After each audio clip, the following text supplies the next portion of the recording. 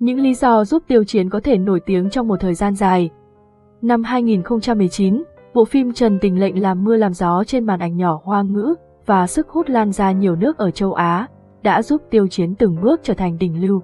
Mặc dù bị ảnh hưởng lớn từ sự cố 227 do fan gây ra và khiến Tiêu Chiến mất gần một năm ở ẩn, nhưng rõ ràng, mức độ nổi tiếng của anh ấy không hề suy giảm, cho đến giờ cũng đã được gần 4 năm, nhưng nam diễn viên 9X này vẫn hot. Vậy nguyên nhân là gì, khiến Tiêu Chiến vẫn hot sau gần ấy năm? 1. Tiêu Chiến luôn nỗ lực hết mình. Tiêu Chiến có xuất phát điểm là thành viên của một nhóm nhạc, nhưng ở thời điểm đó, anh ấy không phải gương mặt được chú ý đến nhất. Thời gian đầu đi đóng phim, Tiêu Chiến chỉ có thể đóng vai phụ trong nhiều dự án như Đấu phá Thương Khung, Khánh Dư Niên, Lang Điện Hạ và còn làm nền cho người đồng đội Cốc Gia Thành. Trong Ôi Hoàng đế bệ hạ của ta, Tiêu Chiến đã nỗ lực hết mình từ những vai phụ và khán giả thật sự đã có ấn tượng với anh ấy. Sự cố gắng của Tiêu Chiến đã giúp anh có cơ hội đóng chính trong Trần Tình Lệnh. Thời điểm đó, trào lưu làm phim đam cải biên chưa bùng nổ, Tiêu Chiến lại chưa có mấy danh tiếng, nên chẳng ai đặt kỳ vọng vào Trần Tình Lệnh, nhưng cuối cùng thì Trần Tình Lệnh đã bạo và giúp ngôi sao sinh năm 1991 này bước sang một trang mới trong sự nghiệp. Chỉ có điều, Tiêu Chiến chưa bao giờ ngủ quên trên chiến thắng, anh ấy vẫn luôn cố gắng, mang đến những bộ phim thật chất lượng cho khán giả. 2. Tiêu Chiến có đội ngũ tốt giúp đỡ. Đương nhiên, thành công của Tiêu Chiến cũng không thể tách rời khỏi đội ngũ giúp đỡ chuyên nghiệp đứng phía sau. Đội ngũ này giúp Tiêu Chiến lấy được Trần Tình Lệnh, hỗ trợ tiếp thị khi phim đang chiếu một cách xuất sắc nhất, nên anh ấy càng lúc càng nổi và tiến gần đến vị trí đỉnh lưu hơn. Sau Trần Tình Lệnh, đội ngũ này cũng đã giúp cho Tiêu Chiến nhận được nhiều dự án phim lớn, từ phim thần tượng cho đến các tác phẩm hơi hướng chính kịch. Như thế, Tiêu Chiến vừa có thể giữ được lưu lượng cao ngất của mình, lại có thể tiến bước trên con đường trở thành một diễn viên thực lực, và cũng chính đội ngũ này đã giúp Ngụy Vô Tiện thoát cảnh bay màu khỏi showbiz sau sự cố 227, năng lực đúng là không hề tầm thường. 3. Tiêu Chiến có lượng fan hùng hậu ủng hộ. Một nguyên nhân cũng quan trọng không kém, đó là Tiêu Chiến có một lượng fan hùng hậu ủng hộ. Ngay cả khi Tiêu Chiến có nổi đình nổi đám đến đâu, mà chẳng có người hâm mộ, thì anh ấy cũng khó mà tồn tại được ở trong showbiz. Những bộ phim của Tiêu Chiến được fan ủng hộ, không thể nổi đình nổi đám, nhưng vẫn giữ được nhiệt độ cao, từ đó anh ấy có khả năng gánh phim.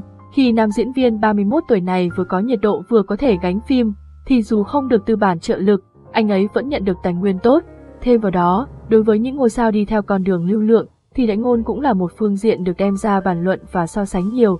Giá trị thương mại, nói một cách đơn giản hơn, chính là sức mua của fan, đã giúp tiêu chiến được nhiều thương hiệu săn đón nhiệt tình. Nói tóm lại, Phan chính là chống lưng to của tiêu chiến. Nói gì thì nói, tiêu chiến có sự may mắn, có sự nỗ lực và có cả sự ủng hộ, nên việc anh ấy có thể duy trì độ hot lâu dài cũng không phải chuyện gì lạ. Nếu tiêu chiến vẫn giữ vững được phong độ như hiện tại, thì vài năm nữa, việc anh ấy vẫn có sức hút lớn cũng là điều dễ hiểu. Vương Nhất Bắc phủ nhận nghi vấn hẹn hò với Triệu Lệ Dĩnh, thuyền Bắc Quần Nhất Tiêu vẫn chưa chìm. Tin đồn Vương Nhất Bắc đang có mối quan hệ mập mờ với một nữ đỉnh hàng đầu hoa ngữ, được cho là Triệu Lệ Dĩnh xuất hiện gần đây, đang khiến cả cộng đồng mạng được fan bùng nổ, với muôn vàn phản ứng trái chiều nhau, tránh để sự việc đi quá giới hạn, làm ảnh hưởng tới danh tiếng của các nghệ sĩ. Phía Vương Nhất Bắc đã nhanh chóng lên tiếng bác bỏ nghi vấn hẹn hò với nữ đỉnh lưu, cùng những tin đồn tình cảm khác liên quan. Vương Nhất Bắc là một trong những nam đỉnh Lucy Beat, có đời tư sạch sẽ, nói không với chiêu trò, cọ nhiệt để đánh bóng tên tuổi. Bản thân nam diễn viên cũng khá kín tiếng trong chuyện đời tư cá nhân. Hầu hết những chủ đề khi công chúng nói về anh đều liên quan tới phim ảnh hay các hoạt động nghệ thuật.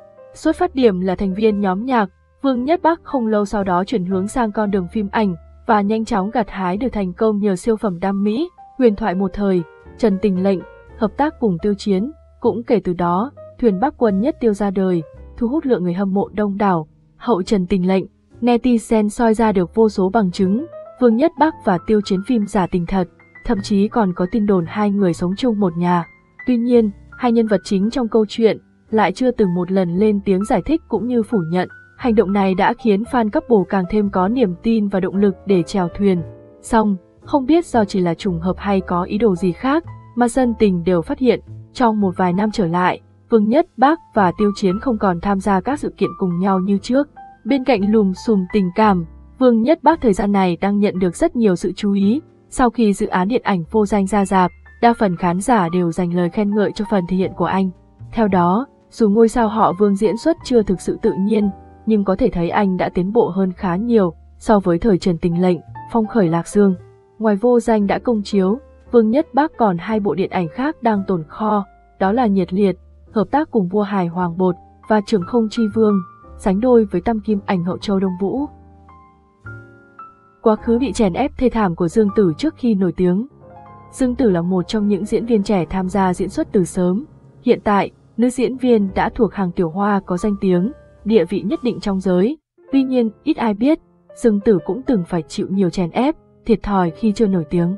Trong một chương trình giải trí, nữ diễn viên từng chia sẻ kỷ niệm không thể quên khi đi casting cho một bộ phim nổi tiếng. Khi đó, Dương Tử đã chuẩn bị một thời gian khá dài và quyết tâm có được vai diễn này. Nhưng sau khi nữ diễn viên và mẹ đến phim trường, thì nhận được thông báo vai diễn đã thuộc về con gái của nhà đầu tư bộ phim và bị đuổi về trong đêm muộn. Điều này khiến nàng Tiểu Hoa buồn bã suốt một thời gian dài, thậm chí có ý định dừng diễn xuất. May mắn là mẹ của nữ diễn viên đã động viên và khích lệ khá nhiều, Dương Tử mới có thể vượt qua cái bóng tâm lý này. Sau câu chuyện này, Dương Tử càng quyết tâm trao dồi và theo đuổi diễn xuất. Nữ diễn viên ghi dấu ấn trong lòng khán giả, với nhiều vai diễn bộ phim chất lượng như Nhà có con trai con gái, Cá mực hầm mật, Trầm vụn hương phai. Trần Tình Lệnh thành công rực rỡ, nhưng cớ sao Vương Nhất Bác đóng phim nào flop phim đấy? Khán giả chắc hẳn còn nhớ khi đóng Trần Tình Lệnh, Vương Nhất Bác đã nhận phải vô số những lời chê bai, từ ngoại hình không hợp cổ trang cho đến diễn xuất kém. Nhưng thành công của Trần Tình Lệnh vẫn đủ sức cồng gánh cho những điểm yếu của Vương Nhất Bác, không chỉ vậy, còn đưa anh trở thành đỉnh lưu thế hệ mới của showbiz hoa ngữ. Sau Trần Tình Lệnh, sự nghiệp của sao nam 9X này đã rẽ sang một hướng khác, nhưng những tiêu cực mang đến lại nhiều hơn hẳn. Có thể thấy trong 4 năm qua, Vương Nhất Bắc không có bộ phim nào vượt qua được cái bóng của Trần Tình Lệnh. Sau Trần Tình Lệnh, sự nghiệp của Vương Nhất Bắc một đường đi lên, từ ngôi sao chỉ đóng những phim cấp A, thì giờ anh chàng đã thẳng tiến đến các dự án cấp S, S cộng. Tuy nhiên, nhìn đi nhìn lại, danh sách phim đã lên sóng của Vương Nhất Bắc suốt 3 năm qua, thì chỉ thấy flop, ngay đến cả vô danh đang ra dạp cũng không ngoại lệ, dù có là Triệu Lệ Dính, Trần Hiểu, hay những bậc ảnh đế, ảnh hậu lừng danh Cbiz như Lương Triều Vĩ và Châu Tấn, cũng không thể gánh nổi Vương Nhất Bác. Đầu tiên thì chúng ta có thể kể đến Hữu Phỉ, bộ phim cấp S có sự tham gia của Song Đỉnh Lưu, Vương Nhất Bác và Triệu Lệ Dính. Nhắc đến Triệu Lệ Dính thì sẽ có nhiều khán giả không phục khả năng đóng phim nào hot phim nấy của cô nàng. Nhưng hợp tác cùng Vương Nhất Bác thì khả năng này của nữ diễn viên Hoa Thiên Cốt bỗng chốc mất hiệu nghiệm và phim cũng rơi cảnh flop. vì năm đỉnh lưu này tuy không còn đời như thời Trần Tình Lệnh, nhưng diễn xuất chẳng tiến bộ được mấy, phản ứng hóa học với nữ chính cũng không hề có. Sang đến phong khởi lạc dương, Vương Nhất Bác lại hóa thân vào một vai diễn lạnh lùng nhưng tài giỏi, có nét hao hao với Lam Chạm trong Trần Tình Lệnh, đáng tiếc thay, thiết lập nhân vật theo kiểu ngầu lòi thế này, lại bị diễn xuất của Vương Nhất Bác phá hủy hoàn toàn. Dù là phân cảnh nào, khi bình thường hay lúc tức giận, vui buồn, thì ngôi sao này cũng chỉ có một gương mặt đơ cứng, cùng đôi mắt lờ đờ như vừa ngủ dậy. Xem phong khởi lạc dương, khán giả có thể dễ dàng nhận thấy, Hoàng Hiên phải gánh còng lưng đàn em. Ban đầu, vô danh khiến khán giả háo hức, khi Vương Nhất Bác được đạo diễn khen hết lời về diễn xuất, anh chàng lại hợp tác với Lương Triều Vĩ và Châu Tấn, nên khán giả cũng hoàn toàn tin tưởng. Để rồi xem phim mới thấy, Vương Nhất Bác trở thành diễn viên diễn kém nhất hội, và nhiều người cho rằng anh ấy chính là nguyên nhân khiến phim flop, ngay cả ảnh đế ảnh hậu, cũng độ không nổi Vương Nhất Bác. Thất bại của vô danh cùng diễn xuất quá mức kém cỏi của Vương Nhất Bác đã khiến nhiều người lo lắng cho những bộ phim điện ảnh đang nằm kho chờ chiếu của anh chàng. Diễn xuất không có, khả năng gánh phim cũng chẳng đến đâu, nhưng Vương Nhất Bác lại nhận được quá nhiều tài nguyên đỉnh. Để rồi, anh chàng lại chẳng xứng với những tài nguyên thuộc dạng đỉnh cấp này chút nào. Triệu lệ dĩnh lộ tạo hình váy trắng ở giữ phượng hành, xoán ngôi thần tiên tỷ tỷ của Lưu Diệc Phi. Sau hai bộ phim truyền hình rất thành công, là gió thổi bán hạ và hạnh phúc đến vạn gia, Triệu Lệ Dĩnh quyết định quay lại đóng cổ trang, song phim thế mạnh của mình. Trong dự án giữ phượng hành lần này, cô tái hợp cùng bạn diễn Lâm Canh Tân, kể từ hồi đóng chung trong sở kiều truyện. Đây cũng là một trong những bộ cổ trang tiên hiệp rất được mong đợi trong năm 2023 này. Mới đây, một số hình ảnh của nhân vật thẩm ly do Triệu Lệ Dĩnh thể hiện trên phim Trường Giữ Phượng Hành đã được đăng tải. Trong loạt ảnh này, nàng Bích Thương Vương diện một bộ trang phục màu trắng đơn giản, cùng kiểu tóc cũng tối giản chẳng kém. Ánh mắt nàng lạnh lùng nhưng cũng có vài phần tức giận, khiến mọi người không thể rời mắt. Ngay lập tức tạo hình này của Triệu Lệ Dĩnh đã nhận được vô số lời khen ngợi. Bên cạnh đó, các trạm tỷ của Triệu Lệ Dĩnh cũng đã đăng tải một số hình ảnh của thần tượng trong dịp Tết Nguyên Tiêu. Trong ảnh, trang phục của nàng Tiểu Hoa vẫn lấy màu trắng làm chủ đạo, kiểu tóc lại còn đơn giản hơn nữa. Tuy nhiên, chính tạo hình này lại làm tôn lên vẻ đẹp mong manh, đáng yêu của nữ diễn viên họ Triệu. Phải thừa nhận rằng, cô nàng có ngoại hình ăn gian tuổi cực mạnh. Ngay lập tức, có nhiều dân mạng đã gọi Triệu Lệ Dĩnh là thần tiên tỷ tỷ và đem tạo hình bạch y của cô nàng ra so sánh với Lưu Diệc Phi. Trước đó, Lưu Diệc Phi từng được gọi là thần tiên tỷ tỷ vì tạo hình quá đẹp ở thần điêu đại hiệp và thiên long bát bộ.